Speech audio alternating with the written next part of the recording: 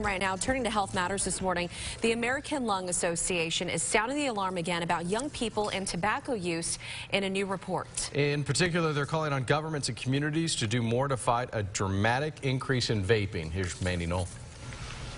Yeah, guys, Arkansas is among 42 states and the nation's capital that get an F for funding tobacco prevention programs. And although the new state of tobacco control report shows cigarette smoking in the U.S. is at an all-time low, a spike in youth vaping is a major cause for concern.